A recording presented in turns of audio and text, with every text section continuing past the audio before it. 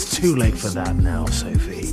You've driven away everyone, lied to everyone, betrayed everyone. You're all alone now. That's why you're mine. Get away from her! Let me be your woman. I'm the British And thank you so much for inviting me to stay